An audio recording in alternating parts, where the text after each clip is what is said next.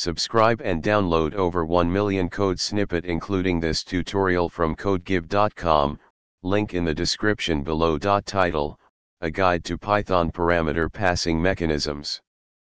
Python supports various parameter passing mechanisms, each serving specific purposes in different scenarios. Understanding how parameters are passed in Python is crucial for writing efficient and maintainable code.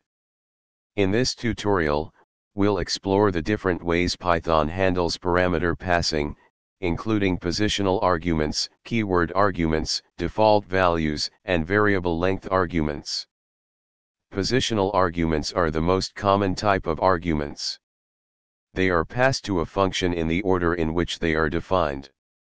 In this example, x and y are positional parameters, and when calling the add underscore numbers function, the values 3 and 5 are assigned to x and y respectively. Keyword arguments allow you to pass values to a function by explicitly specifying the parameter names.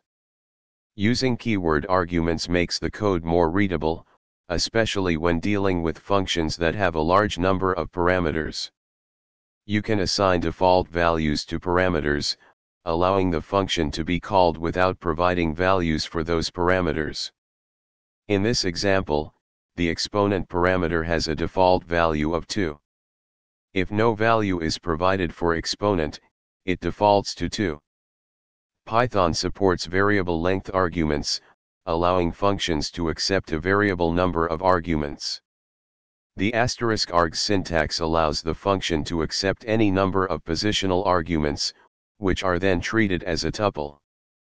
The Kwargs syntax allows the function to accept any number of keyword arguments, which are then treated as a dictionary. Understanding Python's parameter passing mechanisms is essential for writing flexible and maintainable code.